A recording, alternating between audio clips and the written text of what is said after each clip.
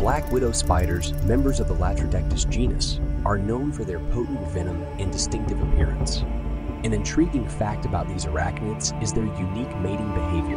After copulation, the female often devours the male, a behavior called sexual cannibalism.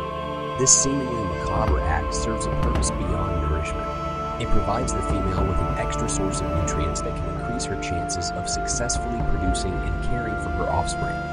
Despite their reputation for danger, black widows typically only bite humans when they feel threatened, and their bites are rarely fatal.